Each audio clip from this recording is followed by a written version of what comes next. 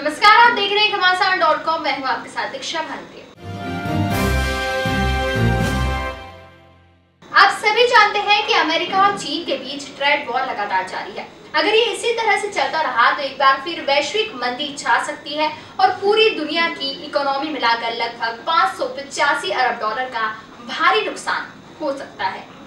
जी हाँ अमेरिकी राष्ट्रपति डोनाल्ड ट्रंप पिछले हफ़्ते चीन के साथ ट्रेड वॉर खत्म करने की पहल कर चुके हैं और दोनों देश एक बार फिर बातचीत से मुद्दा सुलझाने की कोशिश शुरू करने जा रहे हैं।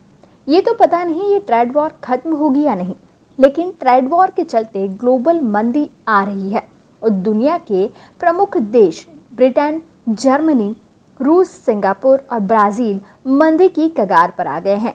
या कहें कि मंदी की चपेट में आ चुके हैं।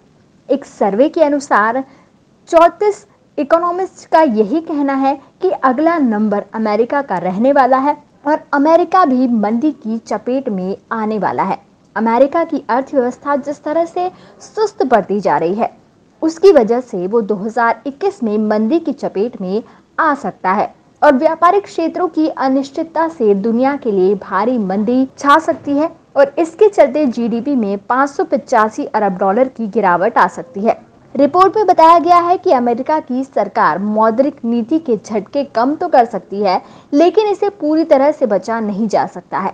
तो अगर अमेरिका और चीन की ये ट्रेड वॉर जारी रहती है तो इन दोनों देशों के साथ साथ तमाम अन्य देशों को भी मंदी का असर झेलना होगा। और आर्थिक नुकसान उठाना पड़ेगा। और अगर पूरी दुनिया की बात की जाए तो पूरी दुनिया की इकोनॉमिक मिलाकर लगभग पाँच सौ पचासी अरब डॉलर का भारी नुकसान हो सकता है। Subscribe our channel and press the bell icon for more updates